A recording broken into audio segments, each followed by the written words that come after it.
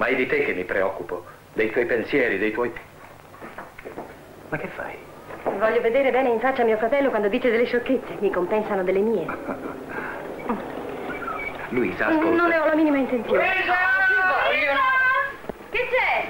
Si va tutti a Pisa, scendi! No, adesso no. Non ora. Ci andrei subito invece. Oh, Renato, voglio rimanere con te. Adesso scende! Grazie, signor Ti Berti! prego. Del resto fra poco devo andare in fabbrica, ma... Ma quello sta in casa o in galera? Aspetta la fine del processo per decidere. Quanto siete delicati! Senti il futuro cognato che protesta. Salute ragazzi. Ma che cos'è questa idea di Pisa? Io non ho nessuna voglia di andare all'università. Nemmeno io, è una scusa per sbagliarcela. Renato si è messo in testa che anch'io lo giudico male. Se te lo domanda, digli che lo giudico malissimo anch'io. Franco. È proprio il tipo che si